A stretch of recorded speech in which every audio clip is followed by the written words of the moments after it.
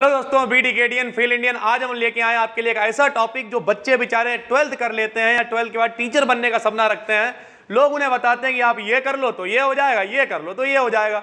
अब वो बेचारे सोचते रहते हैं, हम क्या करें क्या करें क्या करें? तो अगर आप टीचर बनने का सपना देख रहे हैं और बी ए बी या कुछ ग्रेजुएशन कर चुके हैं या फाइनल ईयर में तो आप बीएड कर सकते हैं और बीएड करने के बाद फिर आगे कुछ और स्टेप्स होते हैं टीटी वगैरह क्वालिफाई कर कर आके आगे फिर आप टीचर बन सकते हैं। लेकिन पहला स्टेप यही है कि आपको बीएड कर लेना अच्छा है। अगर कुछ लोग कहते नहीं बीटीसी कर लीजिए तो भैया, अब बीएड वाले हर जगह फॉर्म डाल सकते हैं। तो कुल मिला के सीधी बात यह है बीटीसी करके बहुत ज़्यादा बेवकूफ़ मत बनिए बीएड ही करिए। खास करके जो लड़कियाँ हैं, उनके लिए ग्रेजुएशन के बाद बीएड बहुत अच्छा रहेगा। तो अगर आप हैं फॉर्म इस समय शायद आए हुए हैं, नहीं आए, देख लीजिए फॉर्म शायद आए हुए हैं, और अगर आपने डाल दिया है तो बहुत अच्छी बात, हम यहाँ पर ये जानकारी देने आए हैं कि आपको बीएड करने का, अगर करना है और बीएड करने की तैयारी कर रहे हैं आप तो आपको इस चैनल पे परमानेंट वीडियो मिला करेगी, ठीक है? देखिए कैसे वीडियो मिलेगी, लेकिन उससे पहले आपको सिलेबस जान लेना बहुत ज़्यादा ज़रूरी है।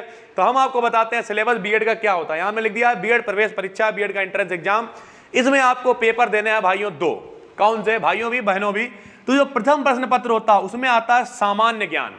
कुछ लोग कहेंगे, सामान्य ज्ञान क्या है? तो सामान्य ज्ञान क्या है? इतिहास है, भूगोल है, जितना पढ़ पाओ, सामान्य ज्ञान में मेरी जेब में एक चौक है, ये भी सामान्य ज्ञान है।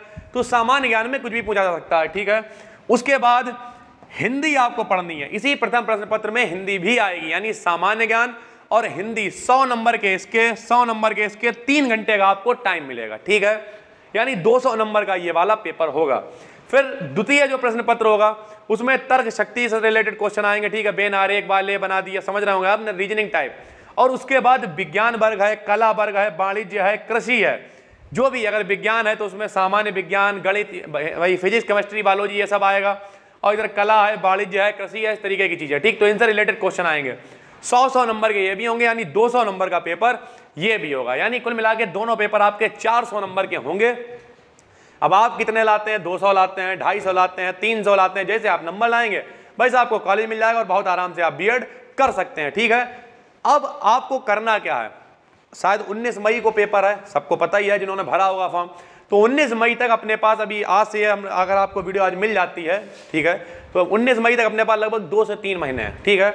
दो से तीन महीने के अंदर बाकायदा प्लेलिस्ट वाइज आपको डेली एक वीडियो मिलेगी इसकी किसकी बीएड प्रवेश परीक्षा। आप आराम से घर पर बैठ के तैयारी करें कला वर्ग वालों की, कृषि वर्ग वालों की तो हम नहीं कर सकते हैं। हालाँकि अगर आप कृषि से हैं, कला से हैं, तब भी कोई दिक्कत नहीं है।